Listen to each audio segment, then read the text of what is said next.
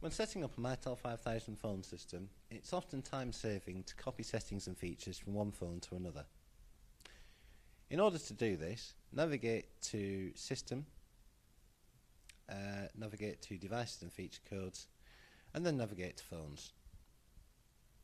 Create your new extension that you'd like to copy the settings to by right clicking and pressing Create 52 or 53 series phone.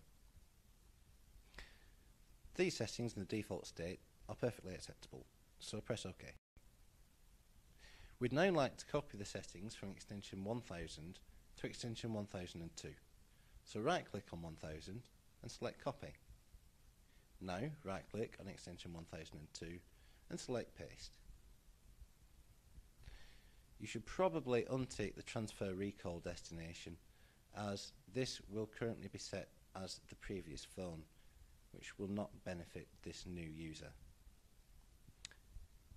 Once you've done this and you're happy with the selection that you've made for the, for the settings to copy to the new device, simply press the OK key. Give your device a name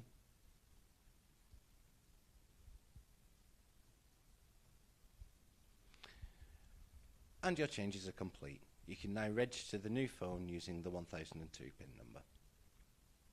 I hope you've enjoyed this brief tutorial on copy settings between phones on a Mitel system. However, if you have any further queries, then please do not hesitate to contact Denwa for a free demonstration.